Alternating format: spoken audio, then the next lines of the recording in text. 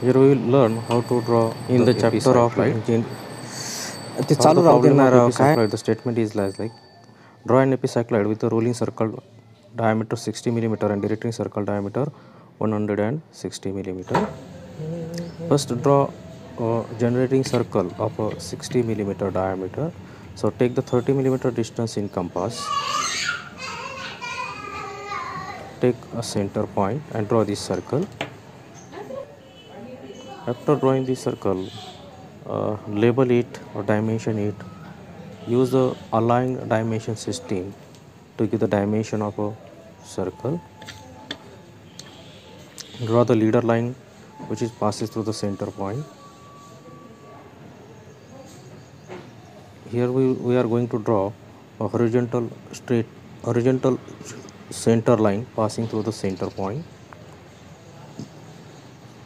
Then here by the leader line uh, give the dimension of a circle that is a radius 30 millimeter. Follow the lettering procedure of let, uh, height of a lettering. Now we have to draw the directing circle for this. Uh, extend from point P uh, draw a line from point P in downward direction of uh, 80 millimeter length. Mark the center point O. Now here uh, we have to draw an subtended angle when the rolling circle which rolls along the directing circle will acquire the ang- an angle of uh, 135 degree. This is find out by using this formula that is theta is equal to pi d divided by capital R. So here drawing the arc which will subtend approximately an angle of 135 degree.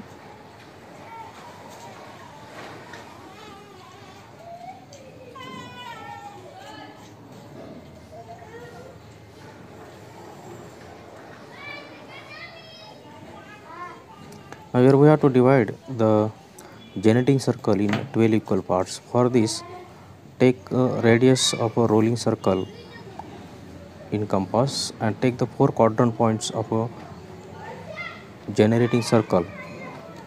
Mark two points to the opposite side of the quadrant point. Take the upper quadrant point and mark or cut the circle at the two two positions. Then take the last quadrant point and cut this generating circle at two points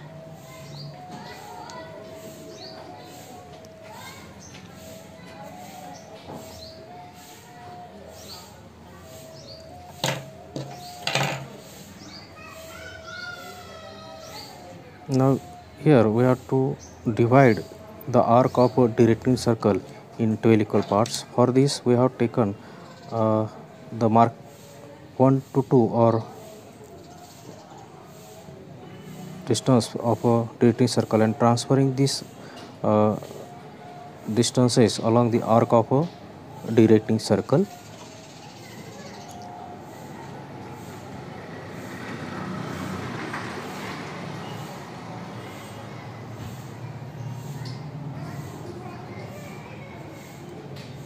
now join. Now take the center point of a directing circle. Take the distance of a compass from center point directing circle to that of a generating circle and draw a arc which will be a curved center line. Yes, we are drawing a center line passing through the center point of a generating circle.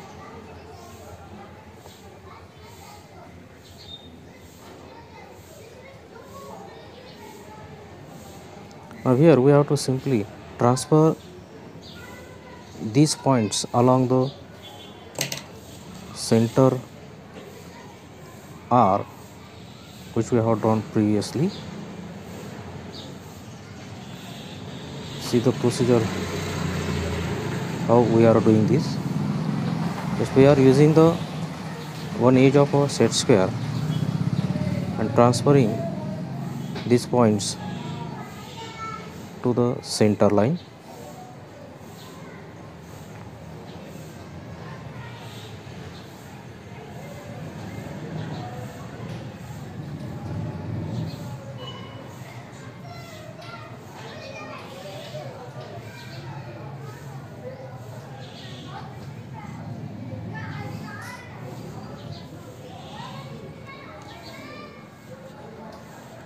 Now mark. These points as a C1, C2 up to the C12 because these are very important points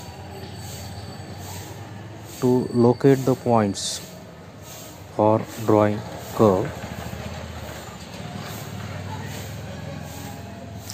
Follow the orientation here while lettering.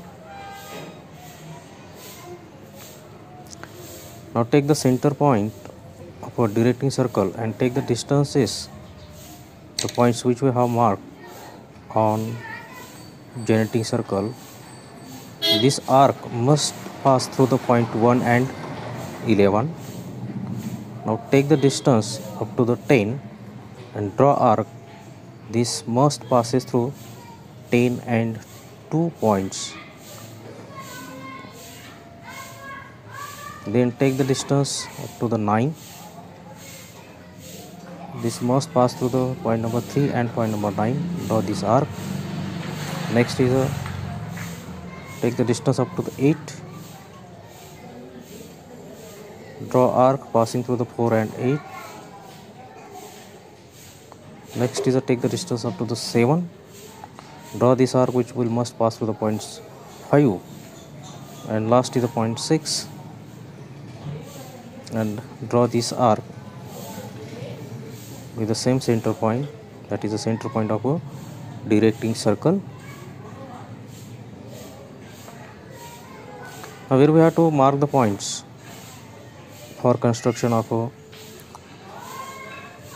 curve. So take the distance of a radius of a geometric circle in compass take the center c1 cut the arc which is passing through the c1 take the center c2 in this way we are here up to the center 5 arc which is passing through the point number arc number 5 now here we are taking the center point c6 now here uh, is a procedure how to mark the point this is as this is a tangential point.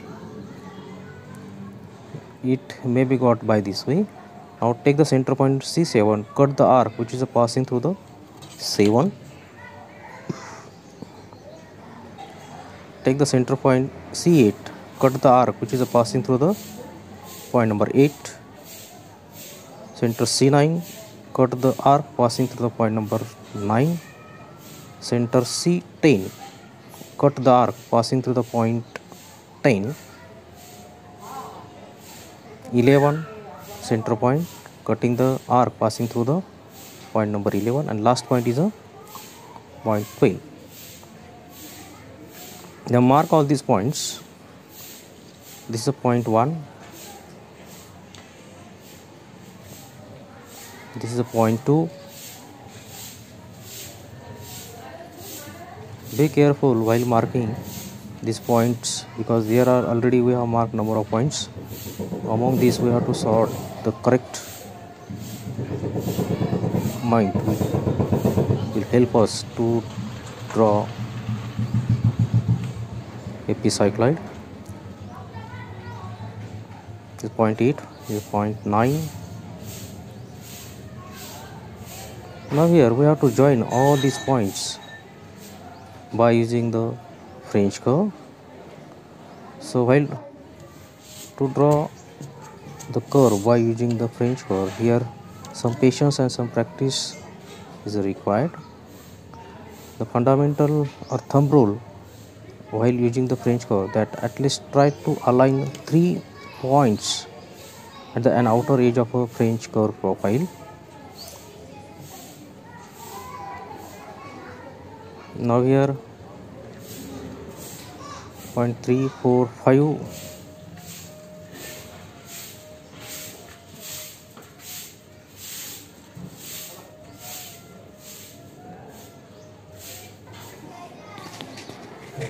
now thus see here the curve is completed.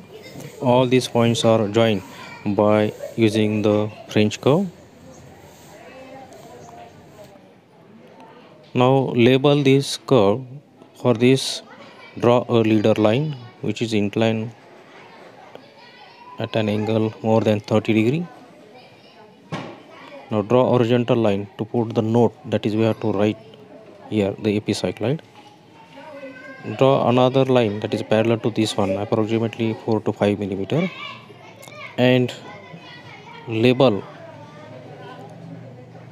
as a epicycloid and follow the procedure which we have learned in lettering and numbering. Here epicycloid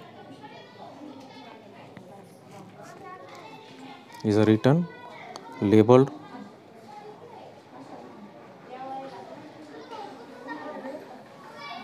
now give the dimension of a directing circle. Draw a leader line passing through the center point of a directing circle.